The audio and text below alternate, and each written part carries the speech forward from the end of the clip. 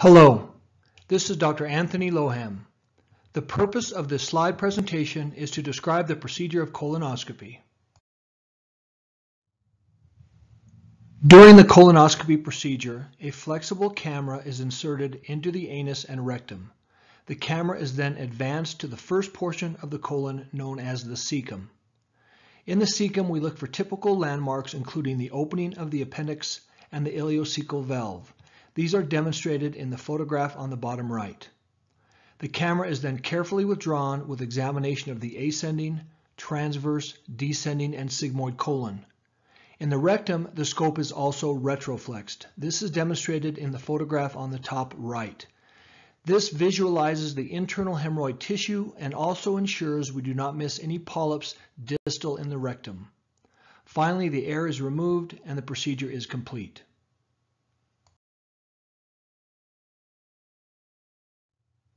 There are three categories of colonoscopy we perform. First, a typical screening colonoscopy is done for either average risk patients or high risk patients. Second is a surveillance colonoscopy, and finally, a diagnostic colonoscopy.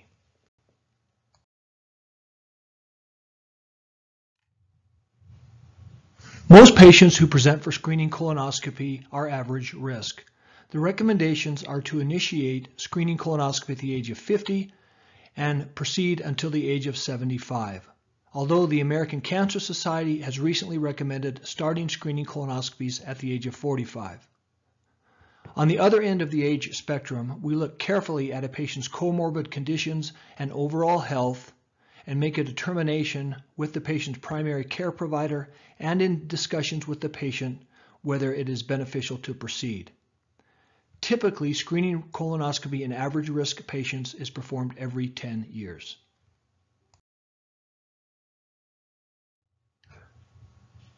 Some patients who present for screening colonoscopy are considered high risk. These patients undergo more frequent screening colonoscopy exams. The most common category of these patients are individuals with a family history of colon cancer in a first degree relative. This includes brother, sister, mother, father. This is more significant if the first degree relative experienced a diagnosis of colon cancer under the age of 60. In patients with inflammatory bowel disease, such as Crohn's or ulcerative colitis, more frequent screening examinations are performed because of a higher incidence of colorectal cancer. And finally, there are some hereditary colon cancer syndromes, the most common being hereditary non-polyposis colorectal cancer, or HNPCC.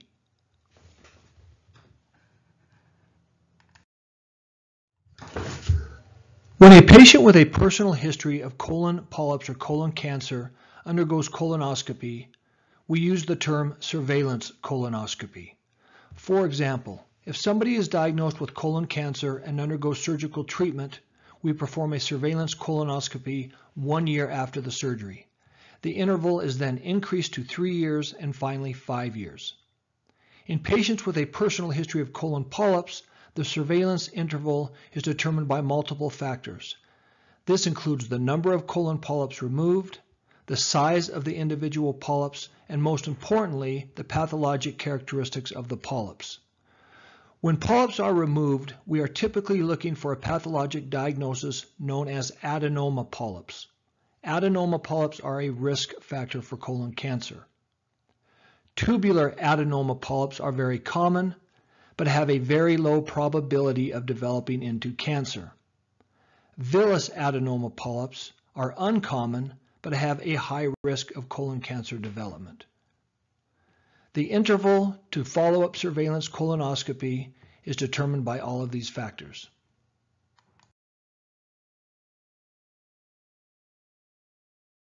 The final category of colonoscopy is known as a diagnostic colonoscopy. This is typically done in patients referred by their primary care physician with clinical symptoms that may be related to abnormalities of the colon. This may include a change in bowel habits including diarrhea or constipation, Gross bleeding including hematochezia, which is bright red blood, typically with a bowel movement, melena, which is dark blood, or the patient may have evidence of anemia on blood testing. In other cases, normal appearing stool undergoes a evaluative test for blood known as the IFOB or Hemoccult test. This may indicate underlying polyps or cancer. And finally, patients may present with a new onset of abdominal pain or an abnormal CT scan or other imaging where the primary care physician requests further evaluation with diagnostic colonoscopy. The colonoscopy procedure is performed at the Lander Outpatient Surgical Center. On the date of your procedure, you will register and then be placed in a private room by the nursing staff. A nurse will place an IV, and my anesthesia provider will evaluate you and discuss the procedure. I also personally reevaluate every patient. The nurse will then bring you to the procedure room, and the anesthesia staff will hook you to a monitor to include blood pressure, heart rate, and oxygen level. The anesthesiologist will then administer a type of sedation known as propofol. No patients ever have any discomfort during the procedure and the medication wears off quite quickly so that most patients are ready to leave the facility within 30 to 60 minutes. The average colonoscopy procedure length is 15 to 30 minutes.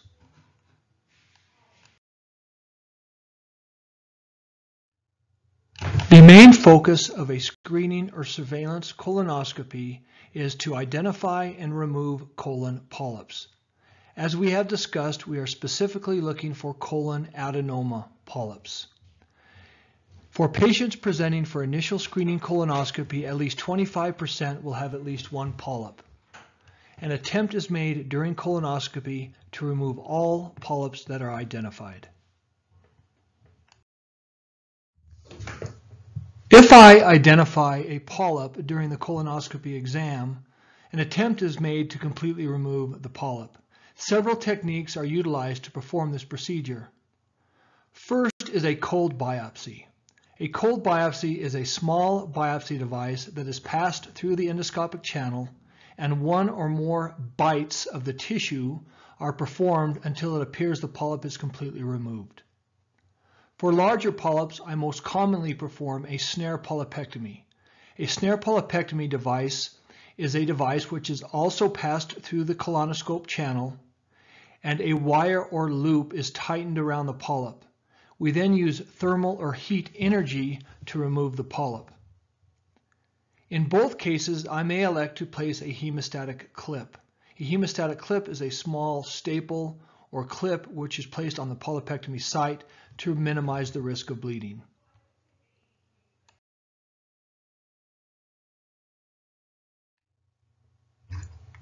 These images demonstrate a cold biopsy for polyp removal and a hemostatic clip placement.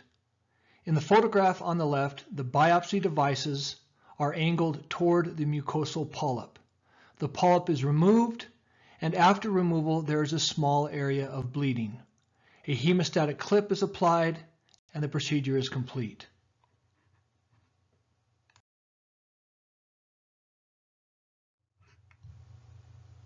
These images demonstrate a snare polypectomy. On the left is a larger polyp. The snare device is inserted and tightened around the base of the polyp and heat energy or cautery is used for polyp removal. Finally, a hemostatic clip is applied. If you closely look at the tissue around the base of the hemostatic clip, you will see white tissue. This is the cauterized tissue from the heat or thermal energy.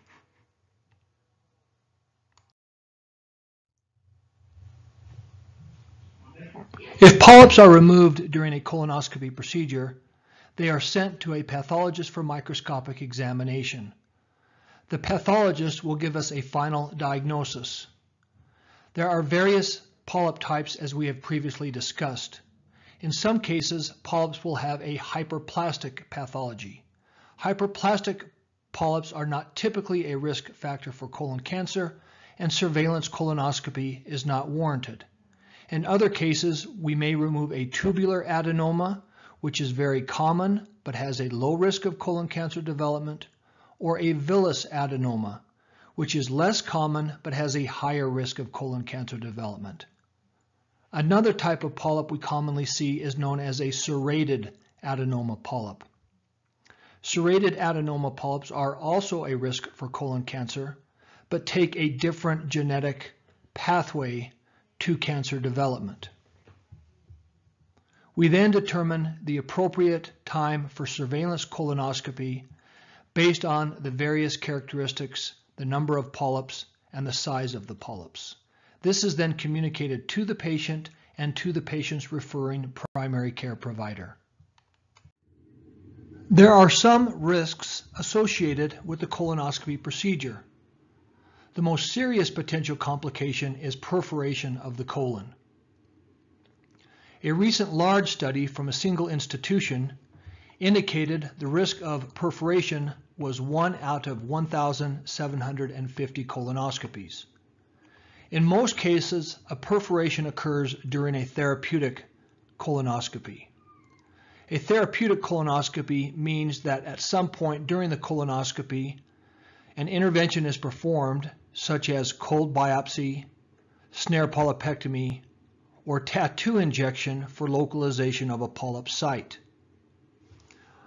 In 20 years, I have performed over 6,000 colonoscopies, and I have had two patients with colon perforations. My incidence of colon perforation is lower than the reported incidence in all surgical or endoscopic literature. The second potential complication during colonoscopy is bleeding. Again, this happens almost 100% when a therapeutic intervention such as biopsy is performed. If a polypectomy or polyp removal is performed, bleeding can occur in with a rate of 1 out of 125 colonoscopies. It can occur the same day of the procedure or up to seven days later. The use of hemostatic clips on polypectomy sites can significantly reduce the bleeding risk. From my standpoint, in the past, I would typically have one patient per year return to my office or the emergency room with symptoms of bleeding. I have only had to repeat the colonoscopy on one patient in a 20-year period to control a bleeding site. In most cases, the bleeding is limited. Thank you. I hope you found this PowerPoint presentation informative in educating you on the colonoscopy procedure. I am always available, as is my office staff, to answer additional questions or concerns that may arise. Have a good day.